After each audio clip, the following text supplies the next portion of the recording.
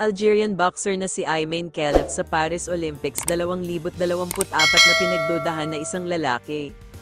Nasasangkot na naman sa isang kontrobersya ang Paris Olympics 2024 na matapos sumuko at matalo ang pambato ng Italy na si Angela Carini dahil sa matinding pinsalang natamo nito.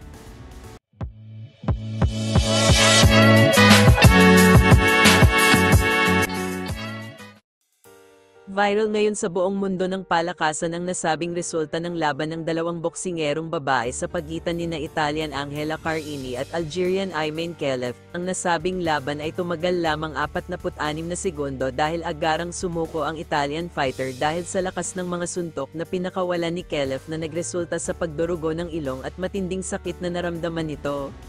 Wika pa ni Carini na hindi pa niya napagdaanan ang ganoong kasakit na mga suntok sa buong laban niya, at mas ninais niya na lang na sumuko at isaalang-alang ang kanyang kalusugan, dagdag pa niya na ang pagtapak sa loob ng ring ay maituturing na panalo na at sumuko na may dignidad, napaiyak din ito dahil nawala rin ang kanyang tsansa na manalo ng gold medal at ninanais sanang iaalay sa kanyang yumaong ama.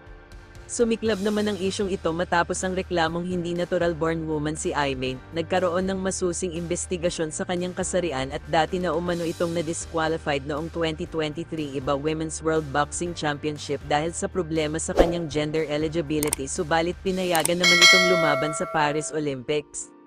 Bunsod ng pangyayaring ito, bumuhos naman ang reaksyon at komento ng mga netizens sa loob at labas ng mundo ng palakasan. Karamihan sa mga komento ay nagpapahayag ng pagkadismaya sa pamunuan ng Olympics dahil sa hindi patas na pamamalakad nito sa nasabing laro. Hindi rin nagpahuli sa pagpapahayag ng saloobin si Harry Potter author J.K. Rowling. Ayon pa sa kanyang post sa social media, isa umano itong malaking kahihiyan sa Paris Olympics matapos payagan lumaban ng isang lalaki kontra sa babae. May ilang netizens naman ang nagtanggol kay Ayman patungkol sa kanyang totoong kasarian, mahigpit umano na ipinagbabawal ang mga transgender sa bansang Algeria kaya nakasisiguro sila na babae si Ayman. Samantala lumabas naman ang balitang natural na babae si Ayman subalit mayroon itong DSD o Disorder with Sex Development bunga nito ang pangingibabaw pa rin ng XY chromosomes nito at libel ng testosterone nito.